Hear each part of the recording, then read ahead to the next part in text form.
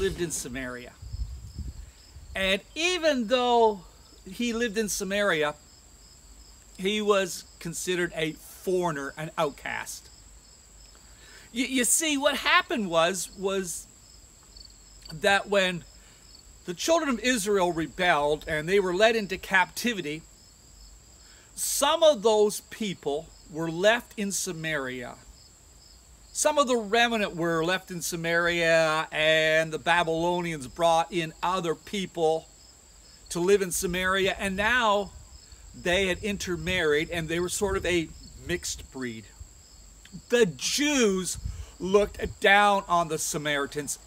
If there was any possible way, if you came from northern Israel down to Jerusalem, the Jews would much rather walk 60 miles so they didn't have to go through Samaria. While in spite of the fact of where David lived, he still believed in God. And he knew that God could do great miracles. I mean, he had heard about how that God had opened up the Red Sea and the children of Israel crossed. He had heard about this little boy named David, uh, kind of he thought, now this is kind of cool, but it was King David, but before he was king, he went out and he faced this huge giant with just a little slingshot and a rock and killed the giant. So David believed God. He was also kind. One of the things that David would do in his store was people would come in and go, Mr. David, uh, I, I, need some groceries, but we don't get paid for uh, another two weeks.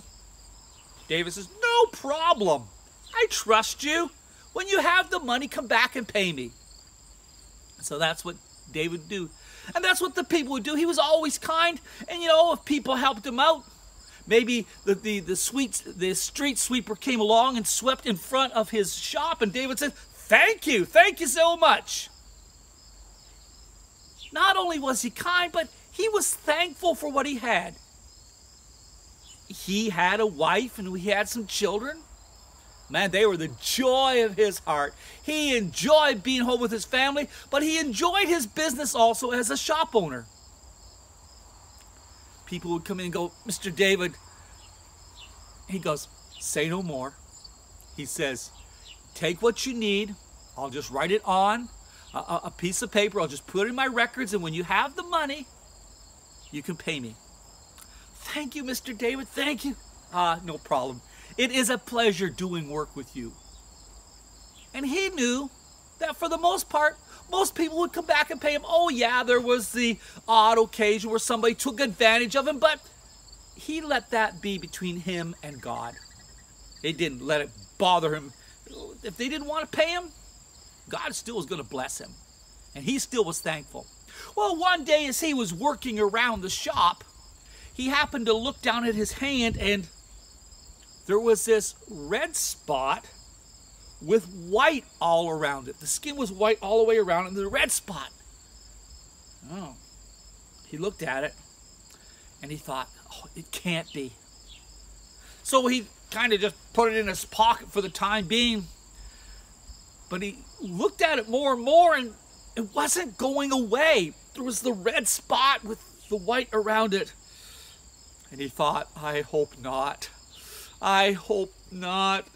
I hope it's not the dun dun dun dun dun the dreaded disease. So he knew what he had to do. He closed up his shop and he put on the front of the door closed. If he had the dun dun dun dun dun the dreaded disease, that meant that he had leprosy. And it also meant that he couldn't be around people. He couldn't be around his children. He couldn't give them a hug. He couldn't give his wife a kiss. But he had to go make sure. And so he walked down the road thinking, oh, what could I do? What could I do? He comes to the priest's house. You see, the priest was the one who really determined whether you had the Dun dun dun dun dun. The dreaded disease! So he knocked on the priest's door, and the priest going, David, good to see you. He says, Sir, don't touch me. Well, what do you mean? The priest said, What do you mean? He goes, Sir, take a look at this. He looked at his hand. He said, Let me get a closer look there. And he goes and he gets his magnifying glass and he, looks at David's hand, that red spot, that red sore with all, the white all around it. And he goes, David, I, I don't know how to say this. I, I don't know how to tell you this, but you have. David goes, Don't say it. The priest said, But I got to, David. I got to tell you this. You have the. Dun dun dun dun dun. The dreaded disease! Oh no! You have a leprosy. Oh, David thought, No. No, I've helped out so many good people. I've helped out whenever I could. And the priest says, David, you know what you need to do. Yeah. I gotta go and live outside the city, and if anybody comes around, I have to yell out, unclean, stay away from me. So he goes home. He opens up the door and his kids come running in. Daddy, Daddy, Daddy, good to see you. He says, Don't touch, don't, don't, don't touch me. His wife comes around and goes, David, what's the matter? What's the matter, David? He goes, he showed her the sore in her hand, and he goes, I have the dun dun dun dun dun the dreaded disease. No! No! David, you can't! Are you sure? He said, I was at the priest, and he told me I had leprosy. Dun dun dun dun dun. The dreaded disease! Oh no! I have to go. I have to go and live outside the city. And so she went to give him a hug. And he says, No, you can't give me a hug. You can't give me a kiss. I'm contagious. I'm unclean. So he goes and outside the city. And there were other people. There were nine other people who had leprosy. They all kind of joined together because they were the outcast. When anybody ever walked by, they would have to yell out, Unclean! Stay away from me! I have leprosy! The kids would come by and go, Oh! That's disgusting!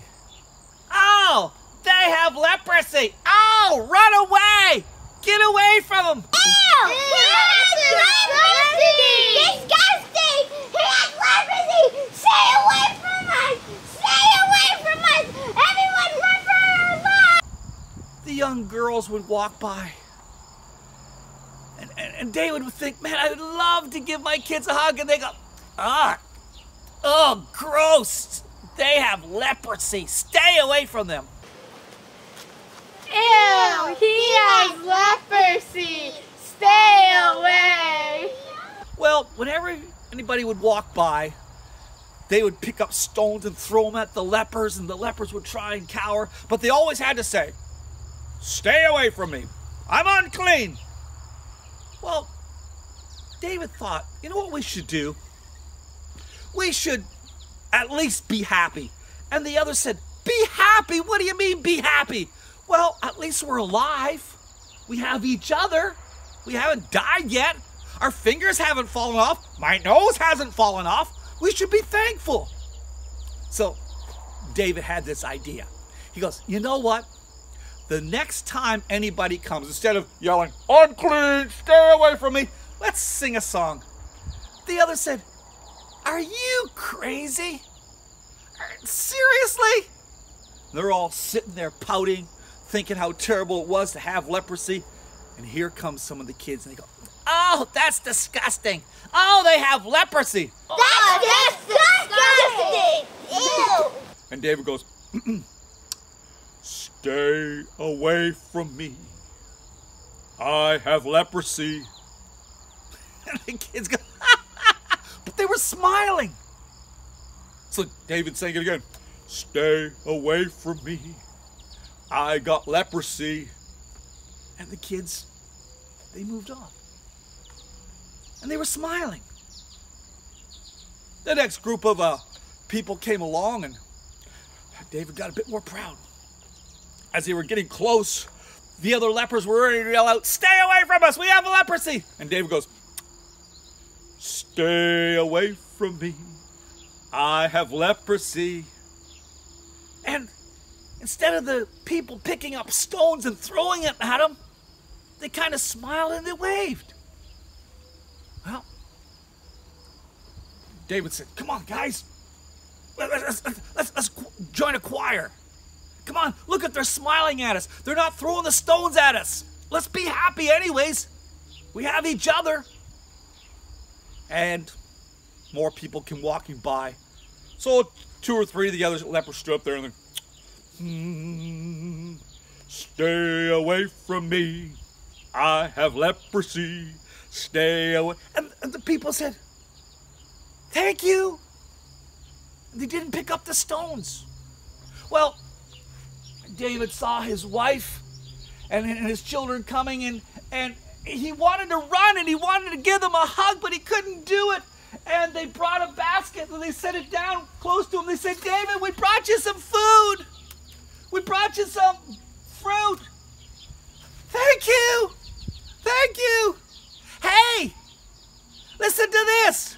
Come on, guys. Come on. I need your help. Oh, oh, oh, okay. What are we going to do? To sing. And so when his wife and his kids were there, David goes, hmm, Stay away from me. I have leprosy. And the other men started to join in. Stay away from me. I have leprosy. The guy who sang really, really high tenor, he goes, Stay away from me. I have leprosy. The big guy who sang bass goes, Stay away from me. I have leprosy. They all started to harmonize. Well, the people were smiling. And David's wife says, David, David, I'll bring you some more fruit. I'll bring you some more vegetables. I'll, I'll bring you something. Thank you. I'd love to give you a hug. Give a hug to my kids. Guys, one more time. They all tuned up. Mm-hmm.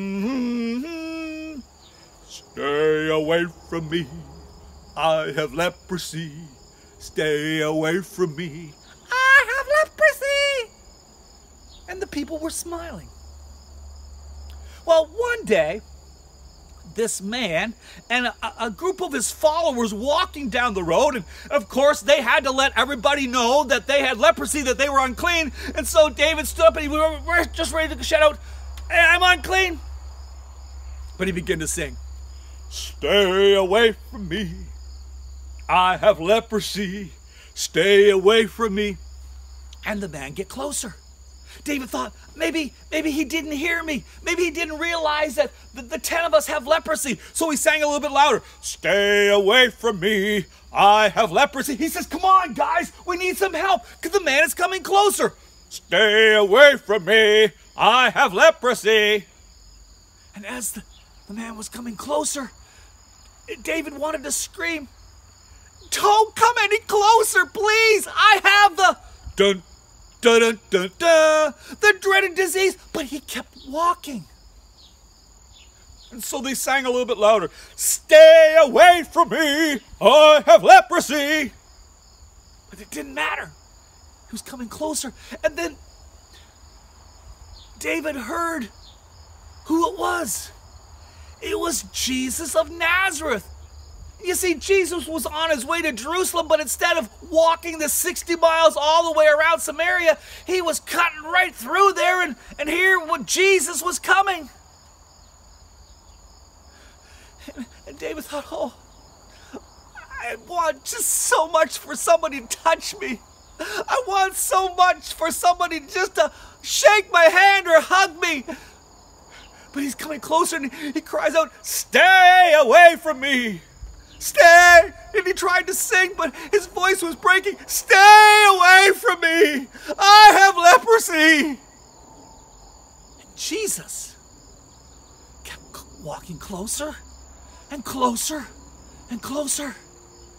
And, and finally, David says, I'm unclean. I have leprosy. And Jesus said, What would you like for me to do for you? He says, I want to be touched. I want to be whole. I want to be able to hug my kids again. I want to be able to hug my wife again, but I have leprosy. And Jesus took a step forward and he reached out his hand and he says, I will touch you. And the other men gathered around. They said, Jesus, will you touch me also? And Jesus said, Yes, I will. And he began to touch each one of them. And he said, Look, look. And they looked at where their leprosy was, and the skin was all pure. One man says, I'm, I'm, I'm, I'm, I'm clean, I'm pure. Part of the custom was they had to go show themselves to the pure, to the priest, and he would determine whether the leprosy was gone. Another one of the men, the one that sang really, really high, goes, "Ha! My leprosy's gone!" The other one goes, "Ha! Yeah, my leprosy is gone." All of them looked at each other. The leprosy on their skin was gone. The leprosy on their face was gone. The leprosy on their hands was gone. Jesus had made them completely whole. Well, they were in such a hurry. They jumped up and they started to run as fast as they could to get to the priest because as soon as the priest said that they were clean, they could come back into society. They weren't quarantined anymore. As David began to run, he thought, I didn't even say thank you. I didn't even express my gratitude. Man, I was so consumed with myself. So he turned around and he ran back and, and he fell down because Jesus hadn't moved. He was still standing right there where he touched him. And he fell down and he says, Oh, Jesus, thank you, thank you. And Jesus says, Weren't there 10 lepers? Yeah, yeah, we all have leprosy out here. Well, where's the other nine? David goes, They were in such a hurry, they just ran off to the priest. And Jesus said, And you, David? You? A foreigner? A stranger? People who are, are, say that you're an outcast? You're the only one that came back to say thank you. He says, Go and be whole. Go back to your family. Hug your kids. And thank you. Thank you for coming back and giving me praise. Thank you for coming back and saying thank you to me. David was so excited. He ran back to his house and he come running into his house and his kids come, Daddy, Daddy, Daddy! And they stop. Oh, oh. Daddy says, David says, it's okay. Jesus made me all better. I don't have the I don't have the dreaded disease anymore. I'm all better. And his wife comes around the corner. She goes, David! He says, Come here. Jesus. Jesus made me whole. Jesus took away all the leprosy. The other guys, they all they're all whole also. But they ran so fast to the priest, but I turned to Jesus and said, Thank you. Man. You know, when God blesses us, we should say, Thank you. When God pours His goodness on us, we should say, Thank, thank you. You would say, What has God done for us? Today, He's given you this day. Today, you are still breathing. You could say, Thank you, God, for the breath. God has given you eyes so that you can see the green grass and the blue sky. You need to say thank you to God for that. God has blessed you where you ate food today. Maybe it was just a bowl of cereal, or maybe it was a big steak dinner. You need to say thank you for your blessings. Thank you for your provisions. God loves to hear us give him praise. God loves to hear us say, Thank you. God loves to see that our heart is filled with gratitude and thankfulness. So, no matter what you're going through, good or bad, God is still in control and we can say thank you.